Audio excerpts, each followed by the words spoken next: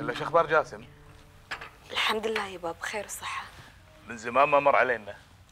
يبا معزوم على الغداء عند واحد من ربعة. إيش دعوة يمه صار له أكثر من شهرين. لا مر علينا ولا سمعنا صوته. حمني يمه نعم. تعال خذ الشاي حق خالك. المهم شلونه معاك ومع العيال؟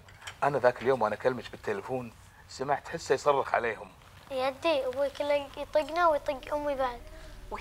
آه لا ما عليكم منه. ترى قاعد يخوره روح حبيبي ودي الشاي حق خالك. علي السوالف حمني الله يهداه. عواشة حلف إن جاسم ما يمد إيده عليك. لا يما ما يمد إيده علي. أصلا هو كله يتغشمر مع اليهال ويقول لهم بطق امكم يعني عشان يلتمون حوله ويطقونه حياتي. بس يعني على غشمره ماكو شيء يعني. زين يا يمه طمنتيني.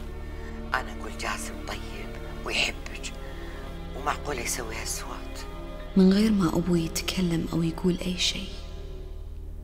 كنت متأكدة إنه ما صدقني. ما تعودت أكذب عليه.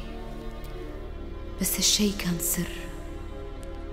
سر ثقيل. فضلت أحتفظ فيه لنفسي.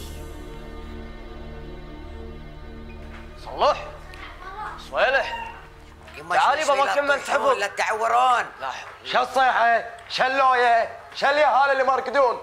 بعدين شنو؟ للحين زوارة؟ الساعة كم الحين؟ شنو زوارتكم للفير؟ يلا عن اذنكم أنا بمشي. وين رايحين؟ وين رايحه قاعدة يبا. لا يبا بس خلاص لازم أمشي. مستعجله بودي اليهال البيت. يلا عن اذنكم يلا يا عيال. يلا حمني.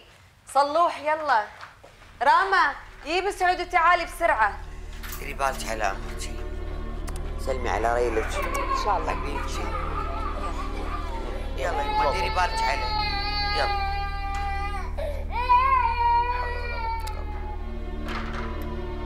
ها. إيش فيكم بعد شي قاعد تطالعوني؟ جزاكم الله خير. شنو أول مرة تشوفوني؟ مو عيب عليك تطرد أختك الهزة؟ أنا طردتها أنا بس طلعت ساعتي وقلت خلصت الزواره ما خلصت. هي طلعت خذت عيالها ومشت بعدين عيالها يا جماعة كلش ما يركضون ازعجونا كله يوم واحد في الأسبوع أختك تزورنا فيه. ما أنت متحملها ويا عيالها ساعتين؟ يبا أختي على عيني وراسي تزورنا بالوقت اللي تبي. حياها الله البيت بيتها بس قلت لك عيالها كلش مو قادر أستحملهم. وأنا بعد ماني قادر أتحمل تصرفاتك. أنت قلبك جسع على أختك. إيش دراك يمكن ما هي مرتاحة ببيت ريلها شلون يعني؟ تطردها من بيت أبوها؟ إيش فيك؟ إيش فيك؟ أف أف تأففين إيش فيك؟ عسى ما شر. أحمد حالة نجلة هذه ما تعجبني.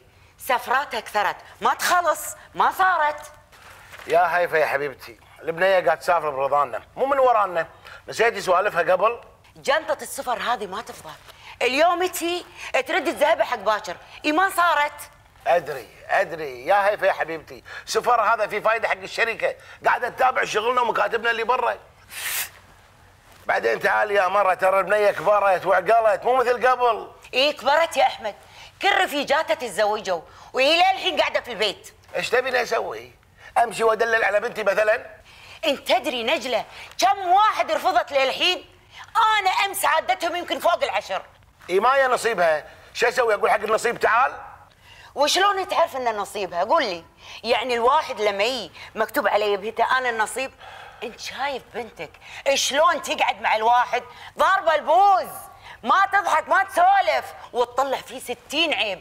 وبعدين تقول ما أبي. قول لي قول لي بنتك هذه إيش تبي؟ استغفر الله العلي العظيم. أنت اللي إيش تبين؟ بس إيش تحلطم أنا قاعد هني بالصالة بشرب قهوتي وبقرأ الجريدة. يا يا تحلطم وين؟ تدري شلون وين تحلطمي بروحك زين؟ وأنا حق منو اشكي يعني؟ منو اللي بيسمعني في هالبيت؟ منو بيشيل هم بنتي معاي؟ مو أنت؟